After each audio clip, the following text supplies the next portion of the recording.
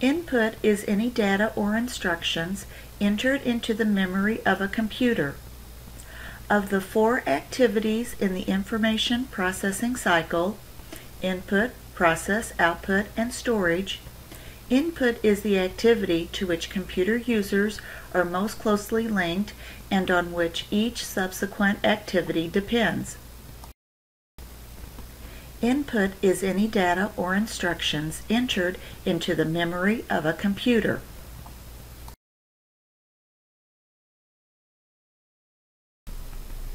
An input device is any hardware component that allows users to enter data and instructions. Two of the more widely used input devices are the keyboard and the mouse. A pointing device allows a user to control a pointer on the screen.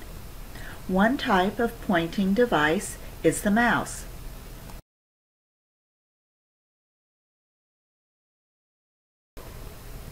Keyboards are used primarily to enter alphanumeric data. The traditional keyboard was devised in 1867 by Christopher Sholes, the inventor of the first practical commercial typewriter. Today's computer keyboards include a typing area, numeric keypad, and function keys.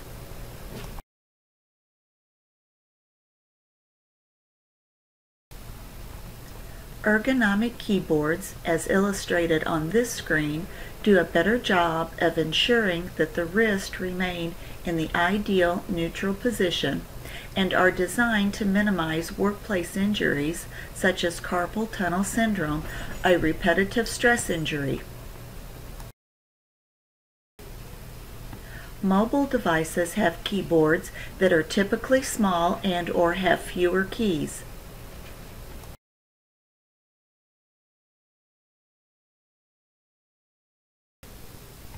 The mouse was created by Douglas Engelbart in 1965.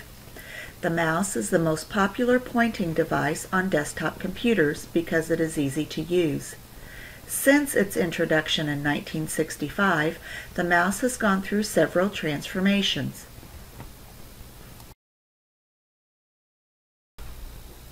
Another pointing device is the trackball. A trackball requires frequent cleaning because it picks up oils from fingers and dust from the environment. Because it is stationary, however, it is a good alternative when desk space is limited. A trackball often works better than a mouse for people with shoulder pain because it takes less overall movement to use. A touchpad is a small, flat, rectangular pointing device sensitive to pressure and motion. Touchpads are probably the most popular pointing device used with portable computers. Touchpads are sensitive to pressure and motion. However, some people feel it is the most difficult pointing device to use. A pointing stick is a pointing device shaped like the eraser head, uh, positioned between the keys on a keyboard. Like touchpads, pointing sticks often are used on portable computers. Some notebook computers include both a pointing stick and a touchpad. A touch screen is a touch-sensitive display device. Users interact with these devices by touching areas of the screen. Touch-sensitive pads on a portable media player enable users to scroll through and play music, view pictures, watch videos or movies, adjust volume, and customize settings. A digital pen looks like a ballpoint pen but uses pressure to write text and draw lines. Game controllers are used as input devices for video and computer games.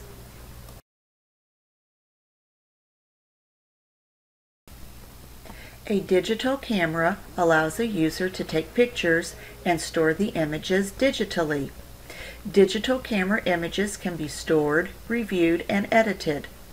Digital camera images can easily be transferred to a computer and posted on the web. Voice input is the process of entering input by speaking into a microphone. Voice input is part of a larger category of input called audio input that includes speech, music, and sound effects. Voice recognition is the computer's capability of distinguishing spoken words.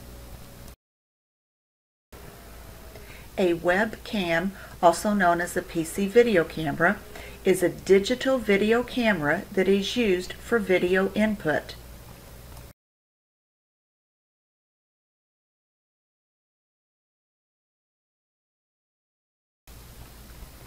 Scanners read printed text and graphics and then translates the results into a form the computer can process.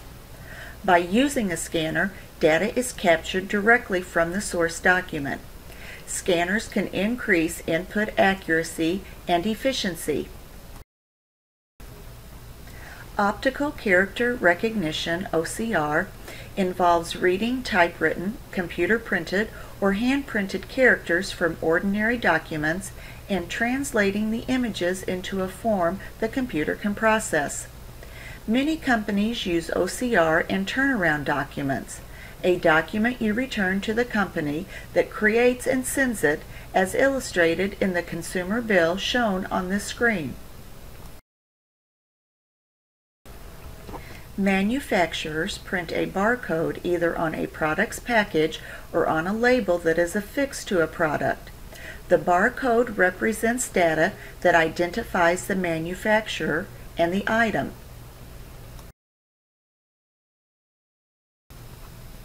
RFID technology uses radio signals to communicate with a tag placed in or attached to an object, an animal, or a person. An RFID reader reads information on the tag via radio waves. Uses of RFID include tracking times of runners in a marathon, tracking airline baggage or inventory, checking lift tickets of skiers, checking out library books, and tracking payment as vehicles pass through booths on tollway systems.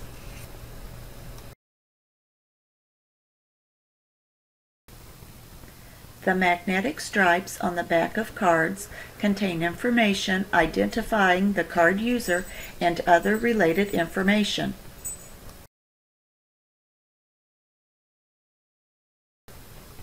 Magnetic ink character recognition devices read text printed with magnetized ink. The banking industry almost exclusively uses MICR for check processing.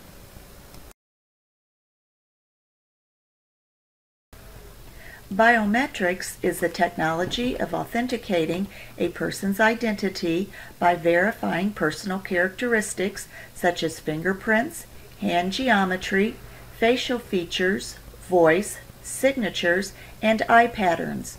The most widely used biometric device is a fingerprint reader.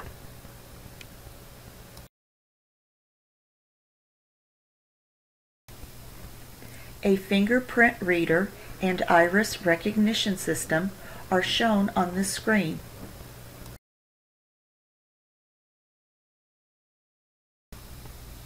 You have probably seen point-of-sale terminals in your own shopping experiences. Most retail stores use a point-of-sale terminal to record purchases, process credit or debit cards, and update inventory. An ATM is a self-service banking machine, while a DVD kiosk is a self-service DVD rental machine, such as Redbox. These are all examples of a terminal that allows users to send data to and or receive information from a host computer.